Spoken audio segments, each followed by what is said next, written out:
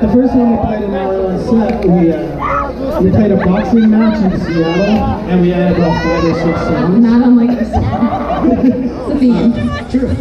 Uh, we only had five or six songs though, so we played those songs, and then two guys fought. Oh, it was also bike messengers, so not even like good boxers. It was just like, what